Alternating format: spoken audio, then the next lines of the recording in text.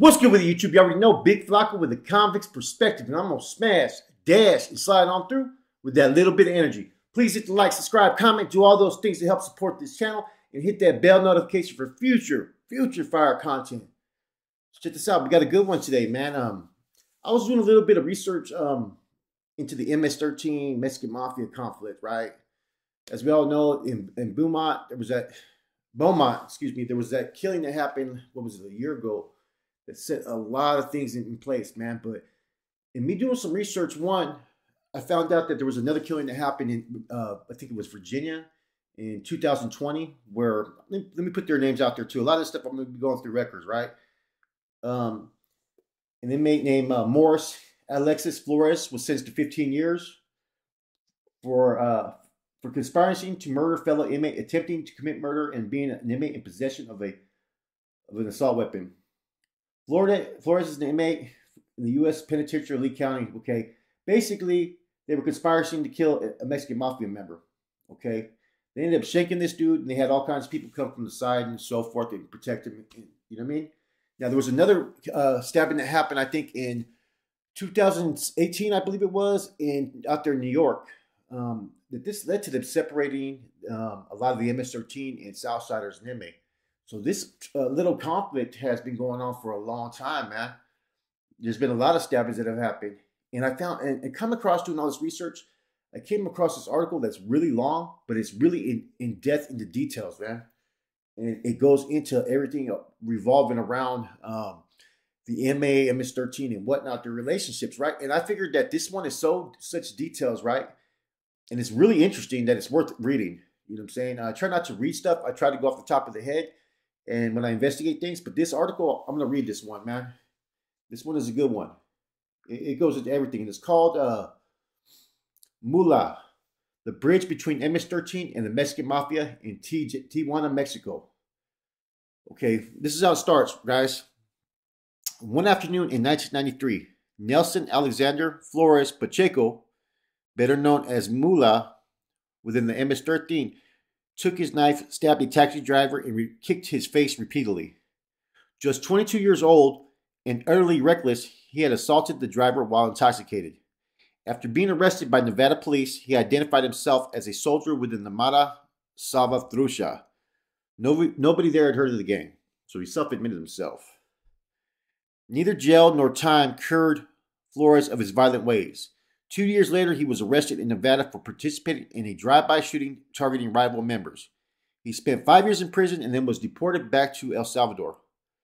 This was a homecoming of sorts for Flores. He was born in El Salvador, Western Department of Santa Ana, June 26, 1971.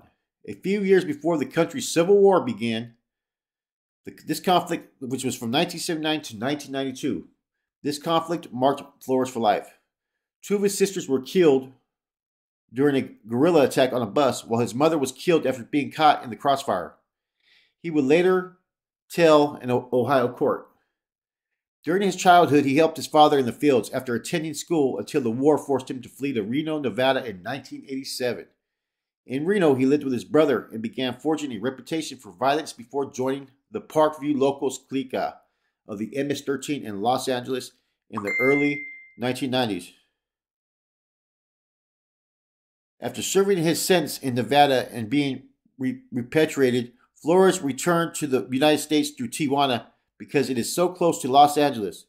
The Mexican border city had become a destination for many gang members seeking to return to the United States after being deported. But Flores settled in Columbus, Ohio. There he started creating a new MS-13 clique the first in the entire state. It was in the early 2000s. There was no clica, said Cheka, a former gang member or homeboy, as they like to call themselves. There was only three of us, and I actually went to find one of the old timers. They called him Mula. Cheka had gang experience on the streets of El Salvador, and Flores had spent some time in the Nevada prison system, so the two men had the chops to create their own clica, which they named the Columbus Criminals Locals after their adopted city. The MS 13's expansion into Ohio broadened the gang's presence in the United States and consequently the range of crimes they committed. Part of their profits went to El Salvador, Honduras, and Guatemala. Like many gang members, Flores had a double life. He had a day job, often using fake documents to obscure his past, and he kept himself as he kept to himself. He was polite, respectful, and a punctual employee, according to the former contractor.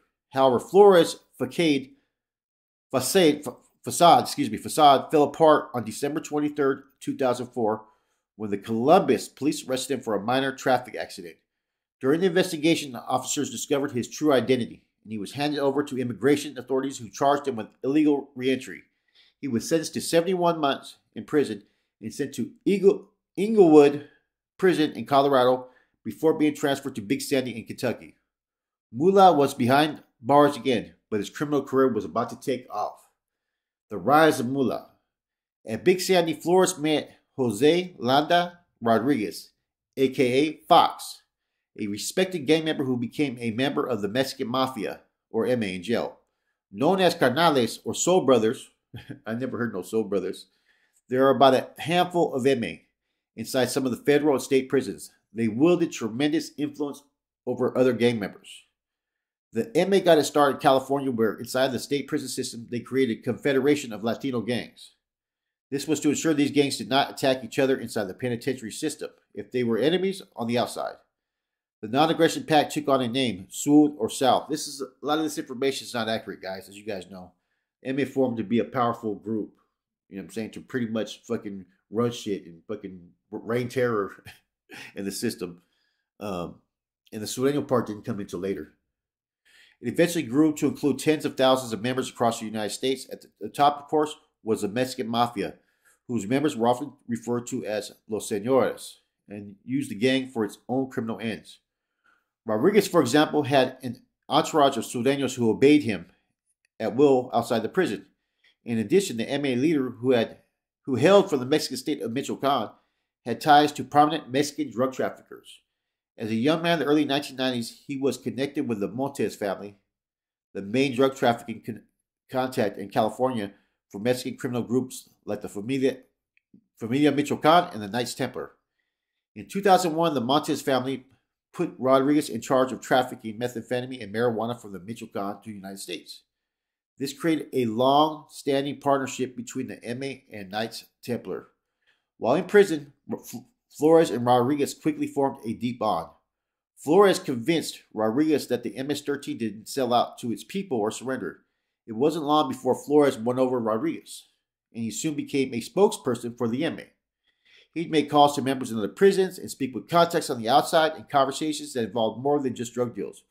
Flores' notoriety had been growing among MS-13 members in Columbus due to his bravery and leadership, but he hadn't quite caught the gang's attention across the United States. His arrest was a turning point.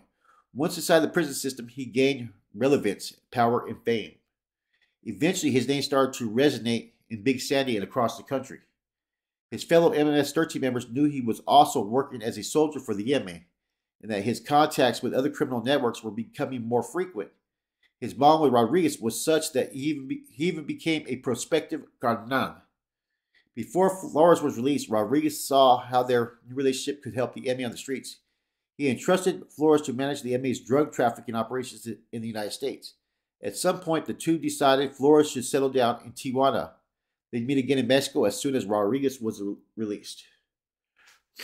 So far, this is pretty interesting, I See, after completing his big his sentence at Big Sandy in January 2011, Flores was deported to El Salvador according to confidential intelligence documents from El Salvador National Civil Police. The documents was obtained by DDoSecrets, an organization that received leaked documents from a hacker group called Guacamaya. With Rodriguez's support and his future in said Tijuana, Flores didn't stay in El Salvador for long. He left soon after arriving with the help of MA Secretary in Southern California, who assisted him during the almost three week trip north. Tijuana was a perfect base for Flores. The border city is home to drug traffickers, smugglers, fugitives, human traffickers, and many others engaged in criminal activity. Some call it the city of sin. So it's easy for Flores to blend in. What's more, it was a regular respite for his gang. MS-13 members have passed through Tijuana since the gang first formed in Los Angeles in the mid 1980s back then. Central American gang members would even pose as Mexicans. They're not all from MS 13, but from any gang. Segura, one of the first Mexicans to be accepted in the MS 13. Tijuana became a neutral spot where various gang members could coexist. In a way, it felt like the extension of the MA Sud philosophy that had spread throughout California's prison system. The border city also served the MA's drug trafficking interest. A portion of drug shipments traveling through Mexico crosses the border in Tijuana to reach U.S. consumers. But for that to happen, traffickers needed intermediaries that could maneuver the legal and illegal border crossings. The MA was effective in that role.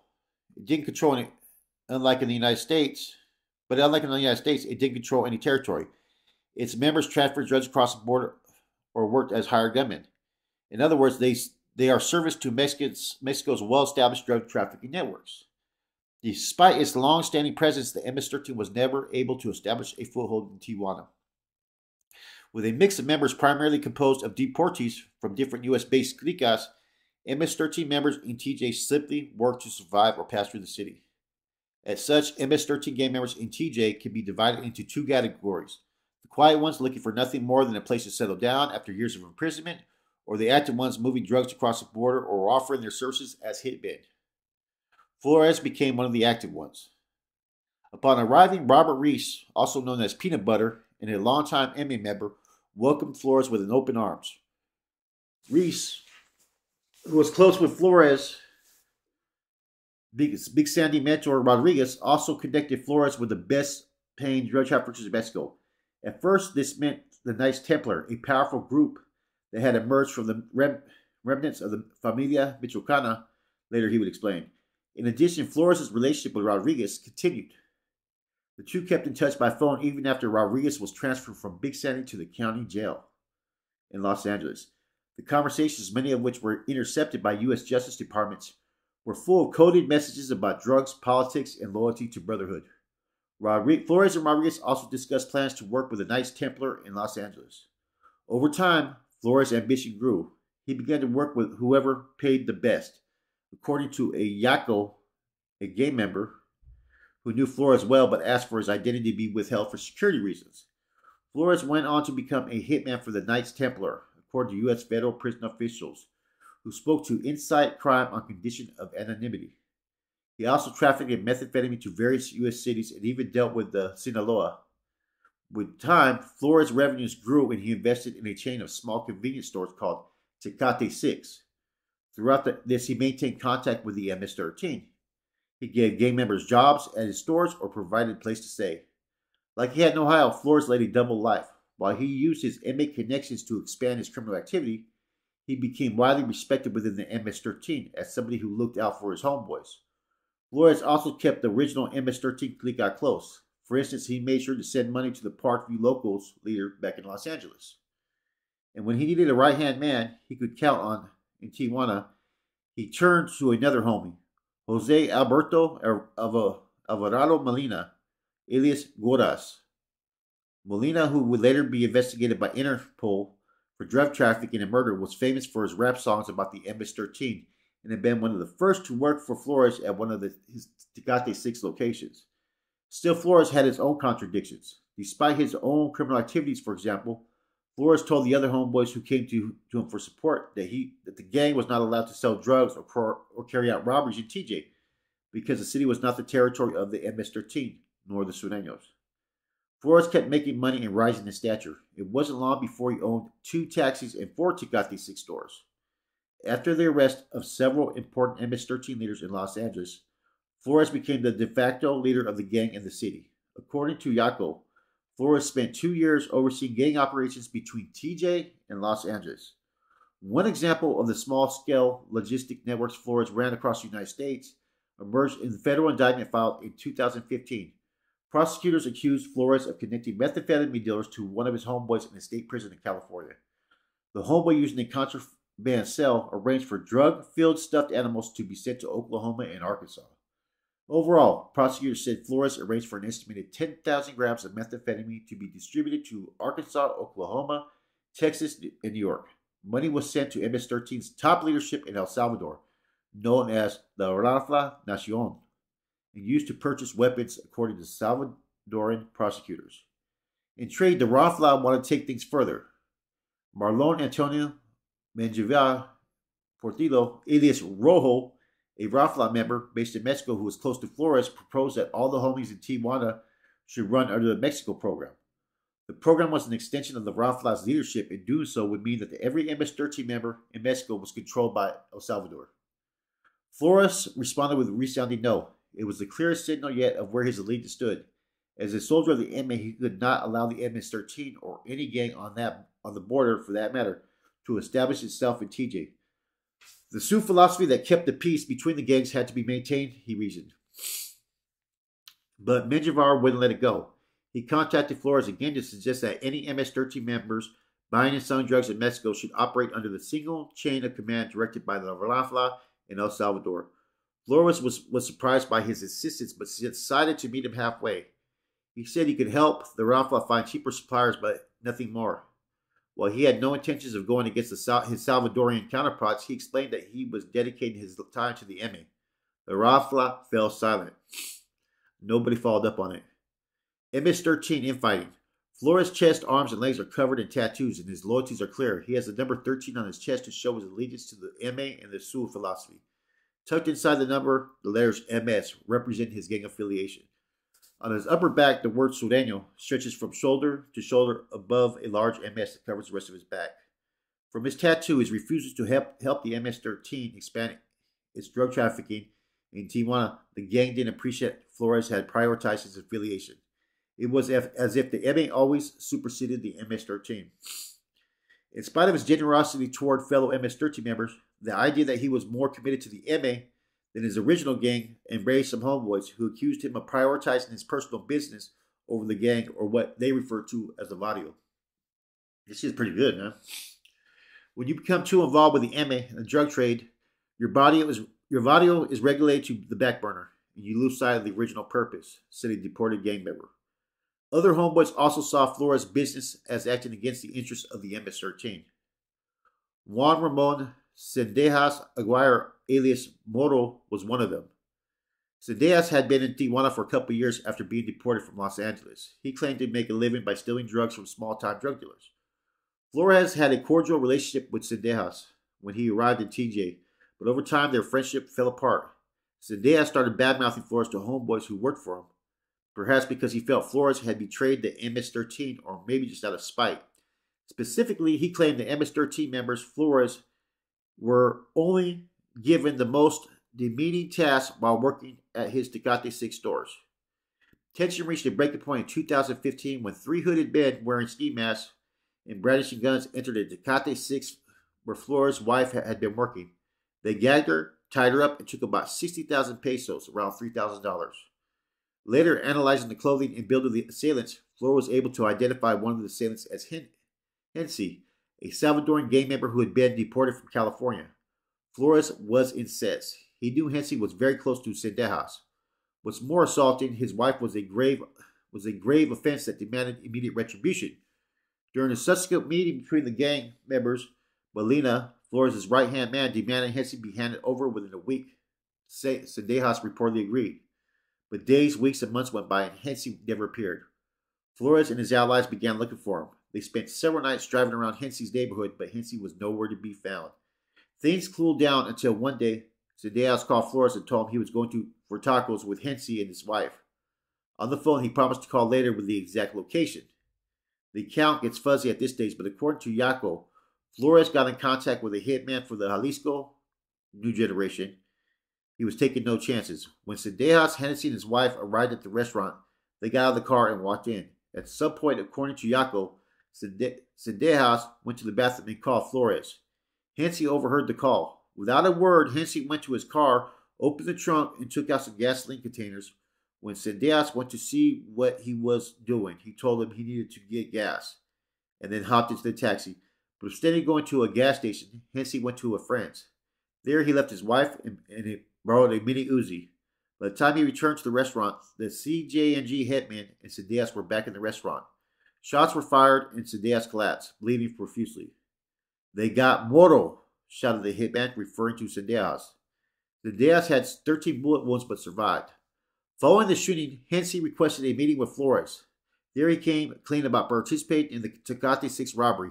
He said he only did it because Sendejas, who had also been a part of the Basque assailants who attacked Flores' wife, convinced him to participate. These guys were cutthroat. Flores was stunned and to placate Flores, hence he vowed he'd kill Sendejas, but he never got the chance. Drug traffickers killed Hensy in Tijuana in September 2016, seven years after the taco stand incident. Sendejas was also shot and killed in his apartment in TJ. Fellow gang members emptied an entire clip into his head. Man, this is crazy. Flores' criminal career in TJ was driving in the U.S. Um, Federal Bureau of Investigation heard his name on a wiretap. At the time, the agency was investigating a series of homicides between 2013 and 2015 by the Parkview locals in LA. The case led to a U.S. indictment in March 5th of 2018. Flores was arrested in TJ in one of his Tecate 6 stores the so-called high-level security groups, Grupos de Alto Nivel de Seguridad en SEG, formed by the governments of El Salvador, Guatemala, Honduras, and Mexico, aided his capture. He was accused of conspiracy in Southern District of Ohio. U.S. authorities eagerly awaited Flores extra being extradited, but it never came. According to Salvadoran intelligence reports, Flores was detained in Mexico for only 11 days before being sent to El Salvador in March of 2018. His swift deportation raised red flags. Some of his fellow gang members believed he had bribed Mexican authorities. Yaco, for example, said Flores knew of the U.S. extradition request and paid to expedite his repatri- repatriation. Two months later, the U.S. government requested that Interpol issue a red notice for his arrest. In November 2018, just six months after being deported, Flores returned once again to TJ. These guys were off the fucking hook, man. Eager to resume his criminal activity. He continued to lead his double life, working with the MA and sent kilograms of methamphetamine to the United States while also sheltering MS-13 homeboys. The FBI investigator revealed that he used the alias 40 or Wana. But during his second stay in TJ, against the Mexican program boiled over, he was convinced that Menjivar and the leader of the program, Hugo Contreras Milanos, alias Flaco, had handed him over to Mexican authorities. The officers who captured him told him as much according to a classified report. So basically, he got turned on by someone. Flores shared this news with one of the gang's most influential Ronfleros, jailed in California, who, co- who coordinated a revenge attack from his cell with Hector Antonio Alfaro Flores, alias Crimen. Alfaro was in El Salvador, and prosecution there was had wiretaps his conversation as part of their own investigation. This shit's fucking crazy. Through intercepted phone calls, they discovered a plan in mid 2019 to bring homies from California to New York to TJ to assassinate certain Mexico program members. According to the document, the attack was eventually thwarted because the gang members coming from New York were arrested on drug charges. Ultimately, Flores would last less than two years in TJ before authorities tracked him down. This time they handed him over to the FBI.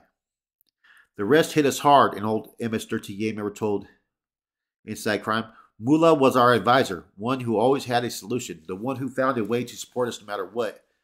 Without his help, Flores' associates couldn't visit the store where they worked and didn't know what to do. After arriving in the U.S., United States, Flores was sent to Ohio. According to the court records, he is scheduled to be released September of 30, 2024. However, that may not happen. In July 2021, just days after sentencing in Ohio, the Southern District Court picked him up for trafficking. Kind of interesting, huh? So, uh, Mula, the influential influential dude within the MS-13, this dude, it's almost like he knew how to politic, man.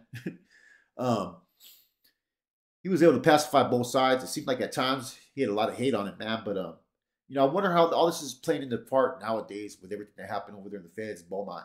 I read a lot of reports. They started to separate a lot of the MS-13 before that killing. There'd been a couple other stabbings, stabbings and conspiracy for killings. And uh, the thing is about the Federal Bureau of uh, Prisons, right, or BOP, is that a lot of these these people that were getting hit, they're labeling as MA members, which I can't confirm, uh, but they were at least Sureños. And so uh, this dude right here, I think, is kind of the is kind of key between those relationships. As you know, you have the the uh, the group over there in MS-13 who want to push their own agenda, their own fucking taxes, their own fucking control of their own people. And then you got those that are have their allegiance to the MA. So, um, you know, it's kind of hard for me to kind of determine how this works because I don't know enough, man. But I've heard this just been going on, like the conflicts. It's like they have a love hate relationship where they have certain members from MS13 who are cool with MA, who are willing to work and are fucking soldiers, and even been recruited by the MA. You have some that were just totally against it. And it seems like there's always a power struggle. You know, no matter what, man, within any of these Latino groups, there exists a power struggle, man. It's, you know, just something that always happens no matter what, man. And once people get big in numbers, is when people's uh, agendas change. It's well, okay, we no longer need you. We're going to do our own fucking thing.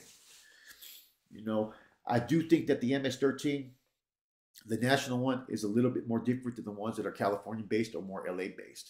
You know, uh, in any event, man, I'm just going to leave this alone. Interesting article. Tell me what you guys think. I'm gone.